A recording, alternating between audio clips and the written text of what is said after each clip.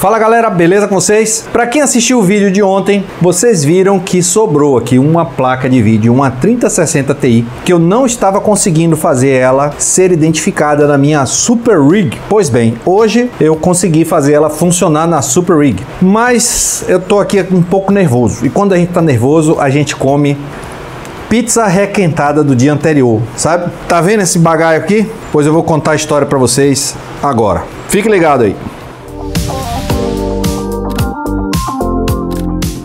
Fala galera, beleza? Agora nossa Super Rig está mais super do que nunca. Consegui ligar as oito placas de vídeo. Tava aqui preocupado porque que essa placa aqui não estava sendo reconhecida na placa mãe. Só para mostrar aqui o consumo, chegou mais ou menos onde eu falei, ó, 670 watts. Como essa fonte é de 850, o tá dentro da margem de segurança aí tá de boa. A fonte tá rodando show de bola. E qual era o problema? Não era a configuração de BIOS. Eu tava achando que tinha que ligar monitor, tal. Eu tava assim meio encucado que não fosse isso, porque eu já tinha feito a configuração dessa placa-mãe. O problema, o problema, o problema era o riser. Eu tava com riser que tava com defeito, e esse aqui é aquele que tem aquela luzinha, tá vendo? Aí o que foi que eu fiz? Peguei uns riser velho que eu tinha aqui, botei aqui, também não funcionou. Aí eu vim aqui na minha rig de AMD e tirei um riser aqui dessa, dessa placa mais velha aqui. E botei ali e funcionou. Aí sim. E tá aqui, ó, o front-end do NB Miner, rodando as oito placas, a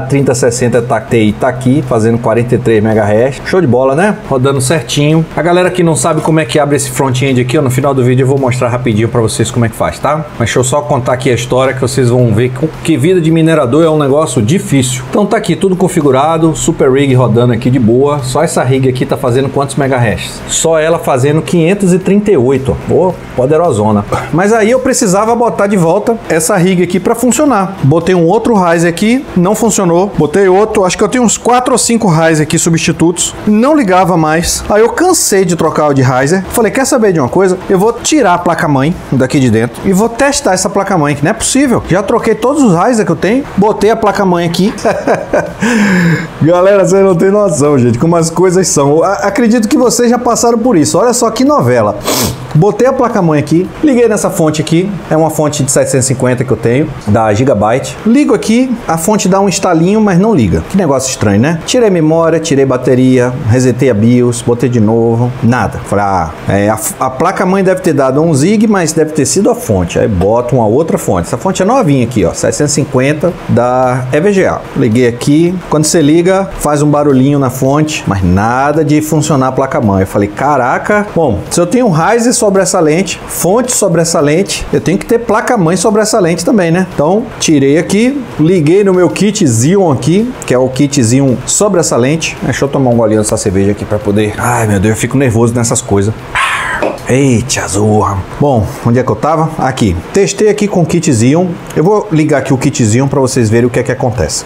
Bom, liguei aqui o kit Xeon na fonte mais nova, mas o que vai acontecer nessa fonte aqui é a mesma coisa que aconteceu com aquela fonte dali. Nessa placa aqui nem liga, só dá um instalinho ali na fonte. Mas nesse Xeon aqui pelo menos acende uma luzinha. E vou mostrar para vocês aqui, ó. Cadê? Tá ligado? Liguei.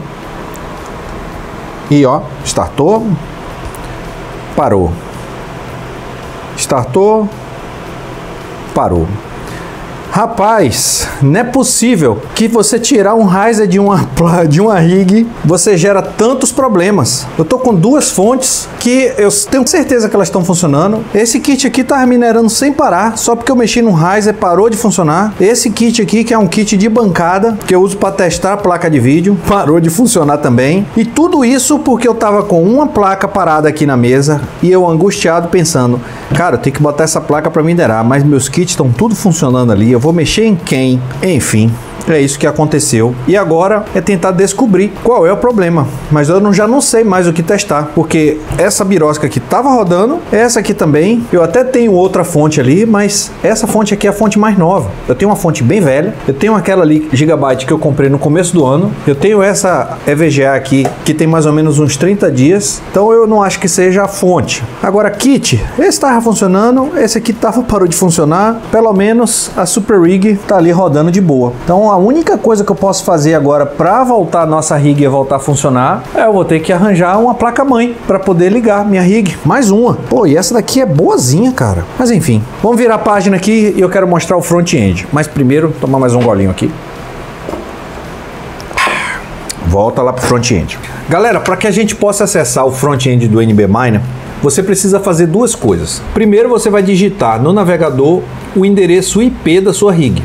Esse endereço IP você pega aqui dentro do Hive OS, que é esse númerozinho aqui, ó, 192.168.1.11. Ele é aleatório. Então, à medida que você desligar sua rig e ligar de novo, o seu roteador ele vai gerar um IP aleatório para você. Então, esse número ele muda, varia de rig para rig. Mas o que vai ser fixo é o número da porta, que é esse 22333. Essa regrinha aqui é para o NB Miner, tá, gente? Demorei para pegar esse macete aqui. Quem me ajudou foi o Berna Crypto. Ele descobriu que não bastava botar o IP e essa porta que ele não vai funcionar, não vai aparecer. Se você aqui no Flight Sheet, vamos abrir aqui o Flight Sheet do NB Miner, clica aqui nos três pontinhos, vai em editar, Setup Miner Config, e esse aqui que é o pulo do gato, ó. Você tem que colocar aqui, ó, esse comando, ó. Aspas API, aspas, dois pontos, espaço, aspas 0000222333. Pronto. Esse código daqui eu vou salvar e vou colar aqui na descrição do vídeo para ficar mais fácil para vocês. Mas se vocês não botarem esse argumento aqui